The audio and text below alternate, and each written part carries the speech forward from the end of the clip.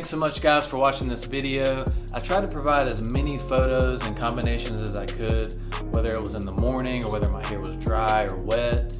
The goal here is to go about shoulder blade length, so that's gonna be quite the process.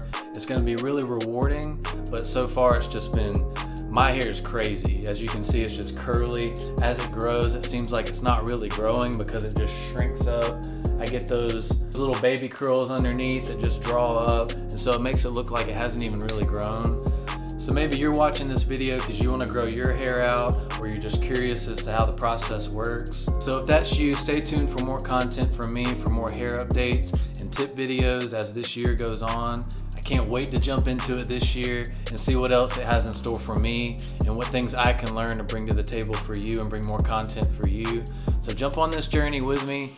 Let's grow our hair out together. And lastly, before you leave, don't forget to subscribe and hit that like button. And in addition, hit that notification bell because that's the only way that you're going to be alerted to all my new videos. See you next time.